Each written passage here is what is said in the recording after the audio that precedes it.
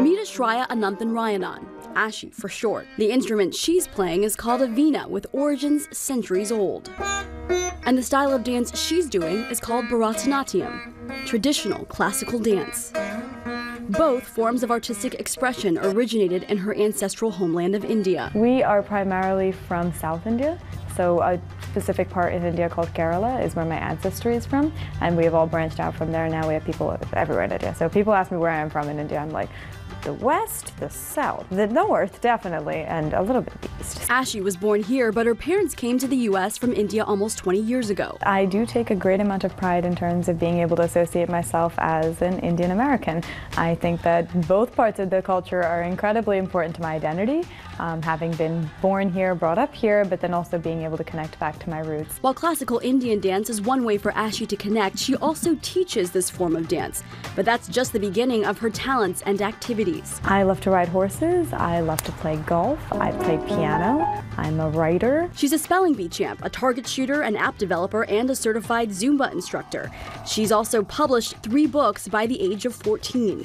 One of my goals throughout all my activities is what can I learn? What's new? But she balks at the thought of being considered a phenomenon. I don't think what I've done is out of the ordinary in terms of I think it could it could be accomplished by any individual who is driven in the same way. If her theory is correct, that would mean practically anyone can fly a plane before the age of 20. I started training as an aviation student when I was 10, actually. That was my first flight ever. The first time, I was pretty petrified of having that height because I don't know how to swim, so if I fall in the water, I am in trouble.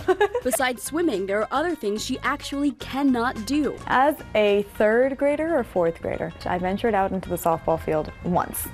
That was it, just the one time. I didn't know how to play.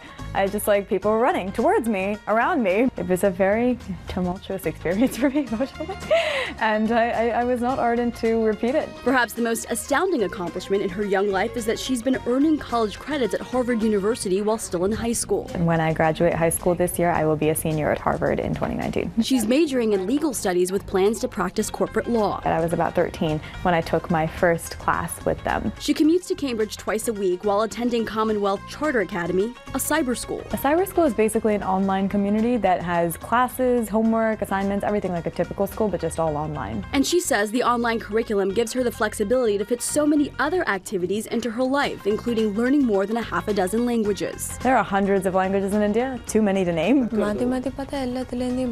I am proficient in about six of them.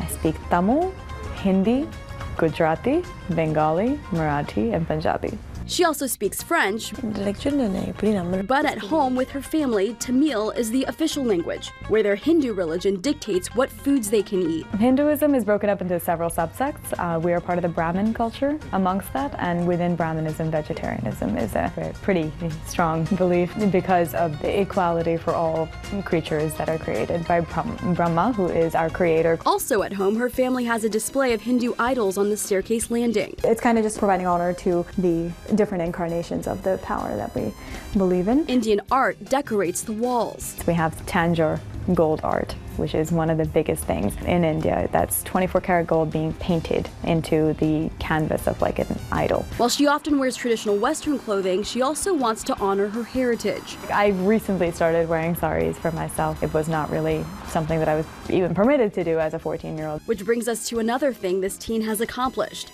the creation of her own fashion line. It's definitely one of the ones that was inspired by my Indian heritage the most.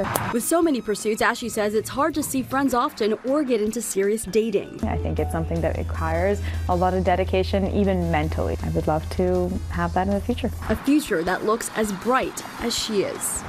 A young woman I'm sure we'll be hearing a lot more about in the future.